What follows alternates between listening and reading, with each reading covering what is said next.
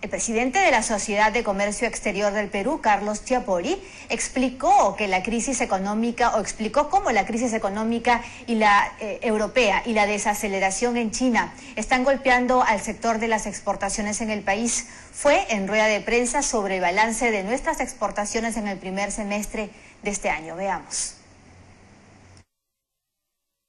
Si bien la confianza del consumidor de Estados Unidos ha propiciado que este país muestre una leve recuperación, la incertidumbre económica que aún vive la Unión Europea y la, sumado a la desaceleración de China han golpeado nuestros envíos al exterior.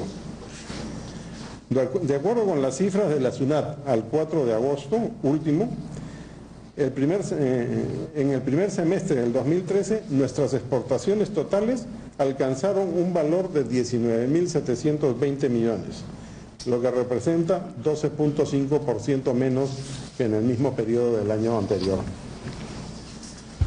Las exportaciones tradicionales fueron 14.600 millones, lo que implica una caída de 15% respecto del 2012.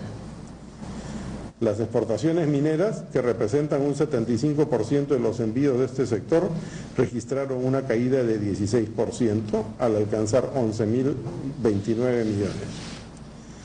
Igualmente, las exportaciones no tradicionales alcanzaron un valor de 5.080 millones, lo que refleja una caída de 4% con respecto al año anterior.